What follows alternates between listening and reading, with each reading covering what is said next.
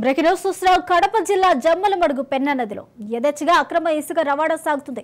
నిత్యం ట్రాక్టర్లతో అక్రమంగా ఇసుక తరలిస్తున్నా అధికారులు పట్టించుకోవడం లేదనే ఆరోపణలు వస్తున్నాయి. అసలు క్వారీకి అనుమతి లేని చోట ఇసుక తవ్వకాలు జరుగుతున్నాయి. స్థానిక నేతల అండదండలతో ఎలాంటి పర్మిషన్లు అవసరం లేకుండా ఇసుక అక్రమ రవాణాను కొనసాగిస్తూ ఉన్నారు. జమ్మలమడుగు నుంచి ఆలగెడ్డ చాగలమర్రి కోవెలగుట్లకు తరలిస్తూ ఉన్నారు. ట్రాక్టర్ లోడు ఇసుకను ఏడు వేల నుంచి పదివేల వరకు విక్రయిస్తున్నట్టు తెలుస్తోంది.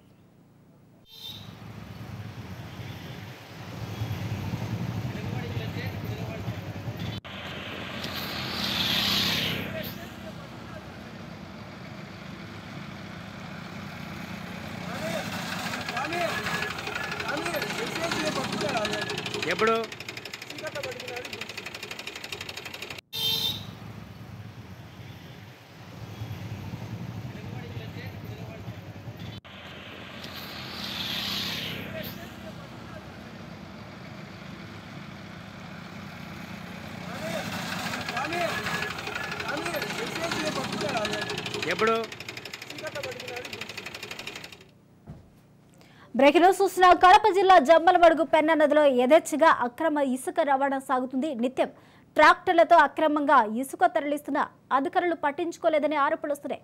అసలు క్వారీకి అనుమతులు లేని చోట ఇసుక తవ్వకాలు జరుగుతున్నాయి. స్థానిక నేతల అండధరలతో ఎలాంటి పర్మిషన్ లేకుండా ఇసుక అక్రమ రవాణా కొనసాగుతున్నట్టు తెలుస్తుంది. ఇక జమ్మలమడుగు నుంచి ఆళ్ళగడ్డ చాగల్లమరి కోవలగుట్లకు తరలిస్తూ ఉన్నారు. ట్రాక్టర్ లోడు ఇసుకను ఏడు వేల నుంచి పదివేల వరకు విక్రయిస్తున్నట్టు తెలుస్తుంది. ఇదే అంశానికి సంబంధించి పూర్తి అప్డేట్స్ మా ప్రతినిధి సుదర్శన్ అందిస్తారు. సుదర్శన్.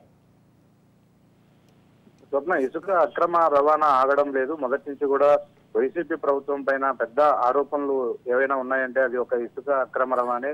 ఇష్టానుసారంగా నాయకులు ఎక్కడ పడితే అక్కడ ఇసుక తవ్వకాలు జరుపుతున్నారు. తాజాగా జమ్మలమడుగు నియోజకవర్గంలో పెన్నానది నుంచి ఇసుకను నిత్యం రాత్రి పగులు తేడా లేకుండా ట్రాక్టర్లతో తరలిస్తున్న పరిస్థితి కనిపిస్తుంది. అయితే ఇసుక పాలసీని కాంట్రాక్ట్ మార్చే ప్రయత్నంలో ప్రభుత్వం ఈ మధ్య పాత కాంట్రాక్ట్ను తప్పించింది. కొత్త టెండర్లు ఇంకా అమల్లోకి రాలేదు అని ఒకవైపు అధికారులు చెప్తున్నప్పటికీ క్వారీలకు ఎక్కడ అనుమతులు లేవని కూడా చెప్తున్నప్పటికీ ట్రాక్టర్లతో ఇసుకను ఎక్కడ పడితే అక్కడి నుంచి తరలిస్తూ ఉన్నారు. ముఖ్యంగా జమ్మలమడుగు నుంచి సరిహద్దుగా ఉన్నటువంటి కర్నూలు బార్డర్లో ఉన్నటువంటి ప్రాంతాలకు ఇసుకను తరలించి అక్కడ సొమ్ము చేసుకుంటూ ఉన్నారు.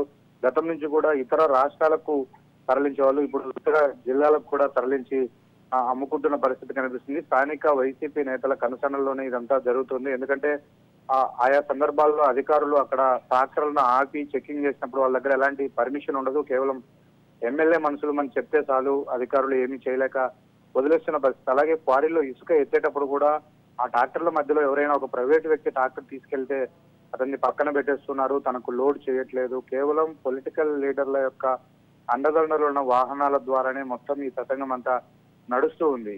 కోట్లాది రూపాయలు విలువ చేసే సహజ సంపదను ప్రజా సంపదను దోపిడీకి గురి చేస్తూ కోర్లు వెనకేసుకుంటున్నటువంటి వైసీపీ నాయకుల అక్రమాలను ఇప్పటికైనా కట్టడి చేయాలంటూ ప్రజల నుంచి పెద్ద ఎత్తున డిమాండ్లు వినిపిస్తూ ఉన్నాయి స్వప్న.